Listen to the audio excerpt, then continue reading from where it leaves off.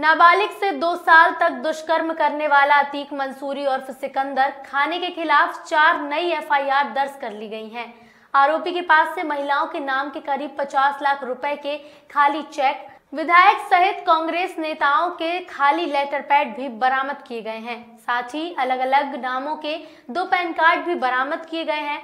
आरोपी सिकंदर के धर्म परिवर्तन के मामले का भी खुलासा पुलिस अधीक्षक ने प्रेस कॉन्फ्रेंसिंग के दौरान किया। दुष्कर्म का आरोपी सिकंदर खान के खिलाफ धारा 420 चार सौ सड़सठ, चार सौ अड़सठ, चार सौ इकहत्तर के तहत भी मामला दर्ज हुआ है।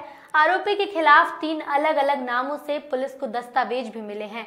आरोपी सिकंदर ने साल 2011 में दिल्ली में धर्म परिवर्तन कर हिंदू बनकर एक हिंदू लड़की से शादी की, फिर 2017 में उसे तलाक भी दे दिया।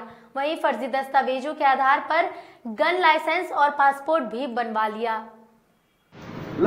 इसमें दो नाम से अपना पैन कार्ड बनाया। दोनों पैन कार्ड अलग अलग पैन नंबर एक व्यक्ति का एक ही पैन नंबर हो सकता है। इन्होंने समीर के नाम पे भी और अतीक के नाम से दो नामों कार्ड बनाया है। तो इसमें एक कायनी गुड़गांव में थाने में हुई है उसकी हम लोग जाँच कर रहे हैं।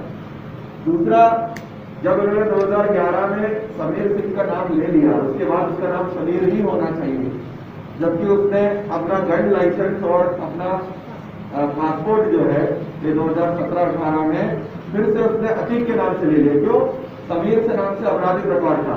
तो पुलिस को और प्रशासन को गुमराह करने के लिए पासपोर्ट अधिकारियों को गुमराह करने के लिए अपना पुराना नाम से फिर से उन्होंने पासपोर्ट और ड्राइविंग लाइसेंस आदित किया क्योंकि उस नाम से अपराधिक रिकॉर्ड नहीं